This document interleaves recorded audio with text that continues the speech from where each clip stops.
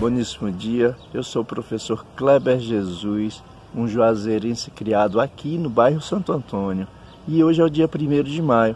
E eu estou justamente aqui no bairro Santo Antônio, na Praça 1 de Maio, na Rua 1 de Maio, próximo ao campo da 1 de Maio. E trouxe um convidado todo especial para conversar um pouco com vocês sobre o Dia do Trabalho.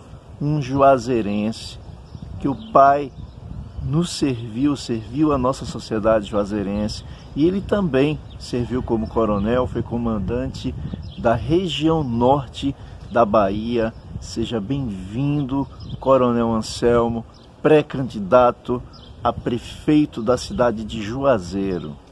Olá, professor Kleber. Um abraço, um abraço a todos os seus seguidores Primeiro só fazer, só fazer um complemento. Não só meu pai, mas minha mãe também foi professora de francês aqui em Juazeiro. Eu fui professor primário e fui desde tenente estou aqui servindo a minha terra. É um prazer enorme estar falando com você e vivendo esse novo momento juntos para a nossa terra. Eu agradeço a sua disponibilidade e já vou mandar a primeira pergunta. Nesse momento difícil, a gente tem observado é, a postura do povo de Juazeiro e a gente tem visto uma avalanche de solidariedade nesse momento tão difícil. Ao que o senhor atribui esse comportamento do juazeirense? Bom, é, o, talvez o que tenha de mais positivo nessa, né, nesse, nessa loucura da pandemia que nós estamos vivendo é, é ver o despertar do nosso povo juazeirense para, para essa solidariedade extremamente positiva. O povo tem, a gente tem visto que o povo está substituindo muitas vezes o Estado, né? o Estado que eu digo, a, o, o poder constituído, que, que nas falhas dessa, dessa atenção é, o povo tem feito essa substituição, tem atendido as pessoas que mais precisam, e isso é extremamente positivo. A gente sabe que o povo de Juazeiro é um povo extremamente é, solidário, a gente vê, nós, nós que crescemos aqui, né, sabemos que os vizinhos, as ruas, os bairros, eles são praticamente uma, uma família, nós costumamos chamar os nossos vizinhos de tios e de tias, é, temos os nossos amigos de infância como primos. E agora, se tem uma coisa positiva que o Juazeirense tem reforçado, que a gente já conhecia, é esse lado solidário. Espero que após a pandemia, quando nós precisaremos também que esse lado esteja muito forte, todos nós continuemos tirando um pouco do que, do que temos e, e, e distribuindo com aqueles que, que pouco têm ou que nada têm. Ainda sobre esse assunto, eu gostaria de perguntar uma coisa relacionada ao seu, é, à sua história de vida. O senhor por muito tempo serviu e protegeu a sociedade. Nesse momento de pandemia, é, quais são as ações solidárias que o senhor tem participado e promovido para alcançar as pessoas mais necessitadas da nossa cidade nesse momento difícil? Professor Kleber, é, na verdade nós já temos essa prática diária como cidadão, como ser humano, tanto, tanto eu como minha esposa, meus filhos, meus familiares, enfim, de uma maneira geral. A gente sempre procurou ajudar aquelas pessoas e, logicamente, que antes dessa pandemia, aqueles muito mais próximos da gente, que, que, que nos cercam, que vivem ao nosso redor e que precisam do nosso apoio esse momento agora, para todos nós, para mim, para o professor, é um momento complicado, porque nós nos lançamos pré-candidatos e cada ato é, que a gente possa fazer, a gente tem que tomar cuidado para não ser interpretado como ato politiqueiro. Mas nós continuamos como cidadão, nos incorporando a todos os movimentos que Juazeiro tem feito, né, os grupos é, ligados a diversas há diversas casas, há diversos grupos é, profissionais que têm procurado, todos nós, todo, não só eu, mas as pessoas que estão comigo nessa caminhada, nós estamos é, colaborando dentro da, das nossas limitações, tanto, tanto grupos como, como pessoas individualmente.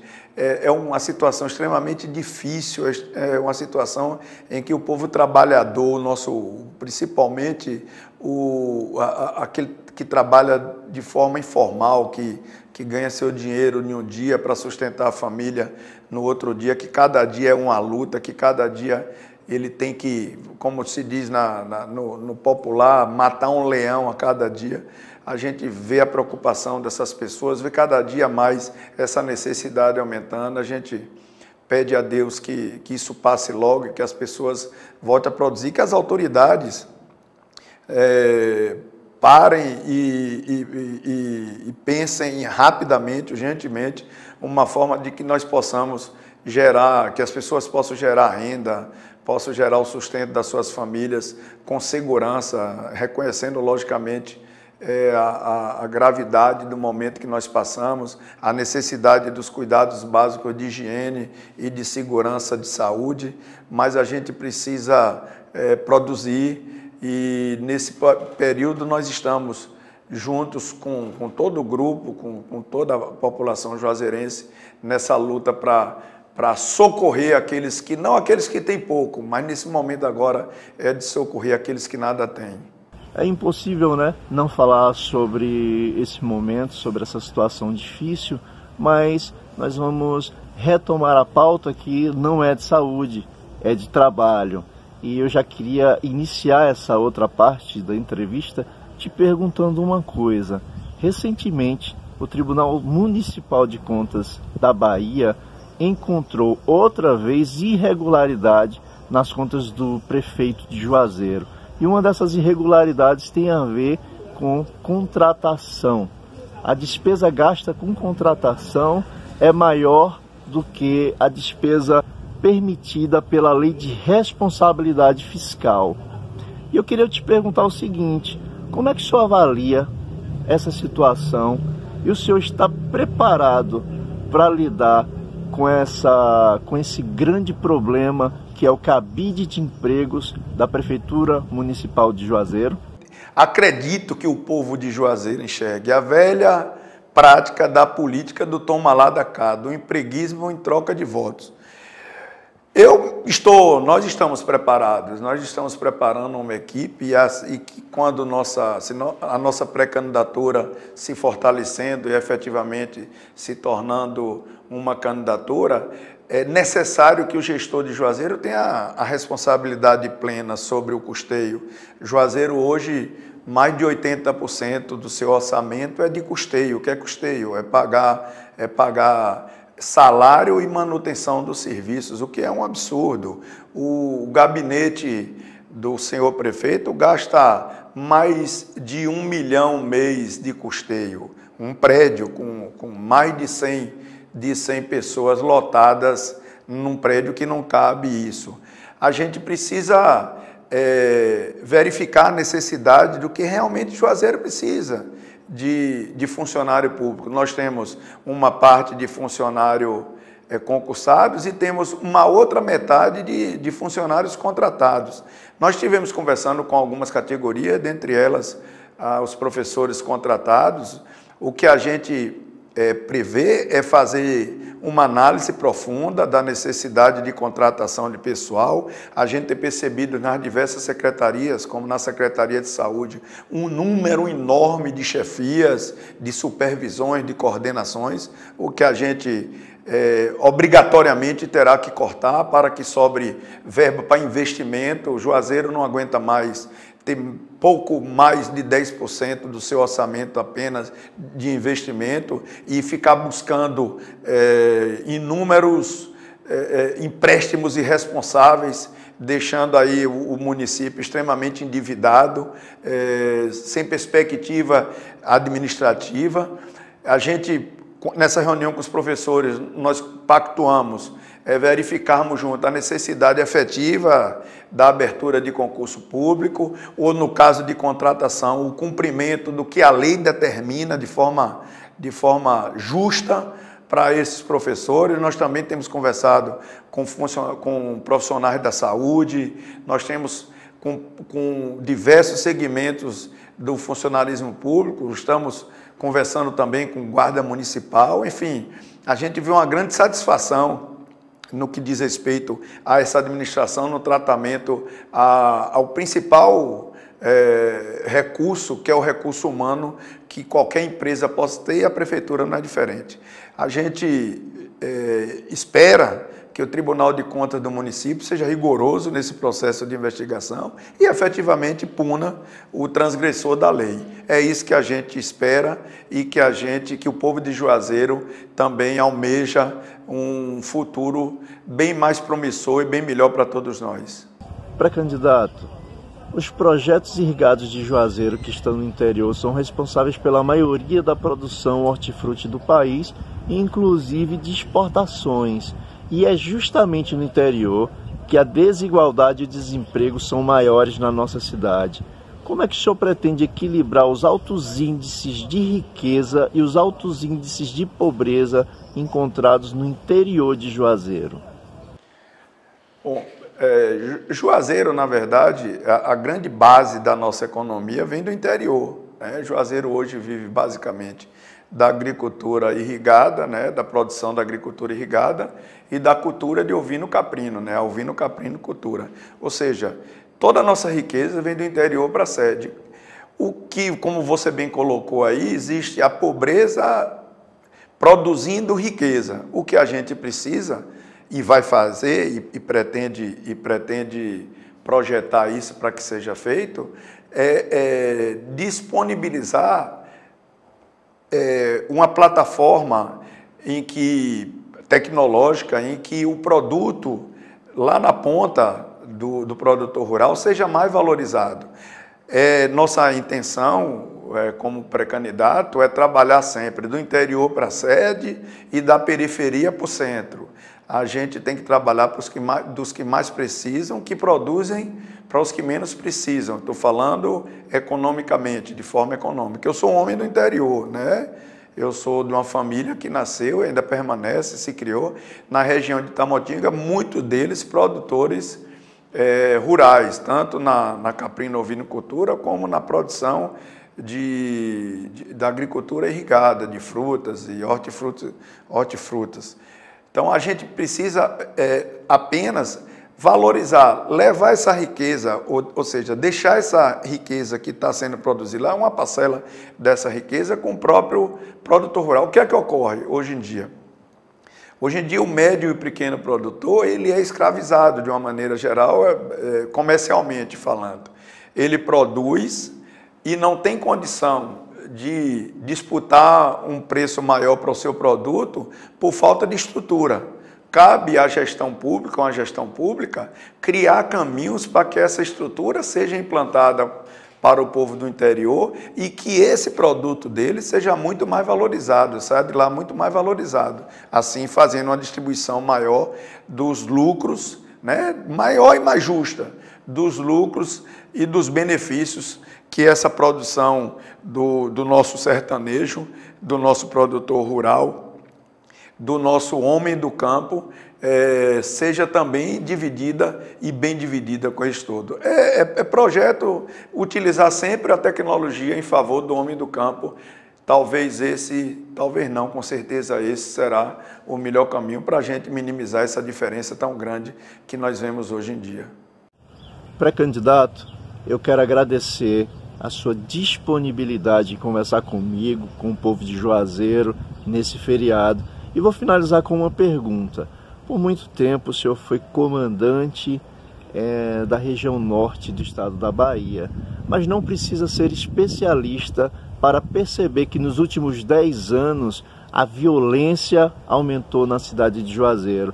Também aumentou o tráfico de drogas e o uso de drogas entre os nossos jovens, assim como aumentou o número de suicídios dos jovens aqui em Juazeiro. A minha pergunta para o senhor é a seguinte: o senhor tem trabalhado ideias que possam devolver à nossa juventude a capacidade de sonhar, que possam devolver a esperança de ter um futuro melhor, em que pelo menos ele possa ter um emprego e renda para sustentar a sua família? Eu tive o privilégio de ser comandante aqui da região norte. Né? Eu tive esse privilégio de ser comandante da região norte e especial, lógico, a cidade de Juazeiro nos trazia um, um, um, a maior atenção por ser o grande centro de toda a região norte, o polo da região norte.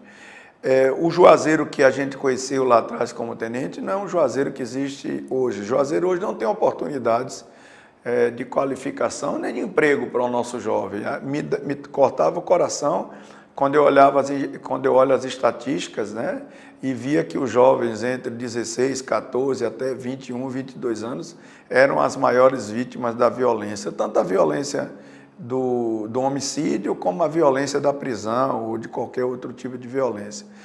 É, nós fizemos algumas ações como comandantes aí, utilizando a polícia como uma mão não só repressora, mas uma mão de socorro, uma mão amiga, uma mão que desse o apoio. É, nós, nós ampliamos a, a Ronda Maria da Penha, nós ampliamos a, a, a atenção do PROERD, que é o Programa de Resistência às Drogas e à Violência. Nós fizemos, estimulamos o contato de todos os comandantes com seus, com, com seus conselhos comunitários de segurança. Mas existe uma máxima na área de segurança, que quando falta assistência do Estado, o tráfico vai lá e cria um estado paralelo. Isso é que a gente é, vê ocorrer em Juazeiro, principalmente nos bairros periféricos. O que a gente precisa fazer, eu sou adébito total e não vejo um caminho diferente, é, é melhorar a educação e melhorar a qualificação do jovem que termina o segundo grau sem perspectiva nenhuma. É, nós temos é, inúmeras faculdades aqui produzidas pelas diversas universidades que nós temos na região, mas a gente precisa arranjar é, soluções e, e, arranjar perspectiva que essas pessoas, ao se formarem, tenham um trabalho. Né? Nós temos diversas engenharias, por exemplo, mas a gente pensa, por exemplo, em criar uma, uma fundação, né, uma autarquia educacional é, popular, é, municipal, de que a gente possa formar pessoas para a nossa maior tendência. Nós precisamos formar profissionais para que estimulemos a vinda de indústrias ligadas ao agronegócio, de agricultura irrigada, né, de, é, de, ligados ao vino caprino cultura, é, não só no nível superior, mas também qualificando esses jovens é, com, com, com cursos de extensão nessa área. Só assim nós podemos criar nossa, uma rede de expectativa, uma rede de emprego para geração de emprego e renda. O número de suicídio efetivamente tem aumentado entre os jovens, mas a gente tem que entender que é muita falta de perspectiva de vida, né? Aquela coisa, eu me formei, e aí? É, eu me lembro, ouvi de um jovem um dia, assim, é, depois da formatura, que ele dizia, a partir, deixei de ser estudante para ser um desempregado. Isso corta o coração da gente quando a gente vê propagandas mentirosas que Juazeiro é o município que mais produz emprego, não sei, o, do Brasil, do Nordeste, do interior do Nordeste, enfim, a gente vê que são empregos, são subempregos, em que se faz uma mídia mentirosa para se fazer um palanque politiqueiro, político eleitoral, e que outras pessoas desavisadas cheguem à nossa terra esperando que seja esse Eldorado, e na verdade não é são empregos temporários. A gente sempre discute que a gente precisa fazer com que esse emprego temporário, que essa colheita da manga, da uva, do coco, de todas as, as frutas e verduras que nós temos aqui, que são colhidas aqui, levadas para fora do Juazeiro, e com a parte seja processada aqui,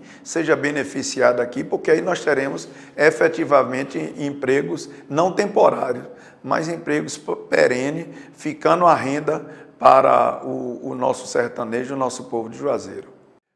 Bom, meu amigo Kleber, primeiro eu tenho que lhe agradecer essa oportunidade, essa oportunidade dada para que a gente fale com seus adeptos, com seus seguidores, enfim, nessa data importante do 1 de maio.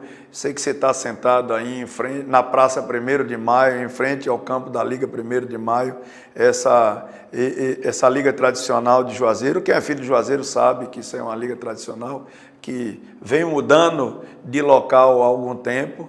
É, dar esse abraço enorme a, a, nós todos trabalhadores, que eu sou um deles, a, a nós todos responsáveis pelo crescimento e pelo progresso do Brasil.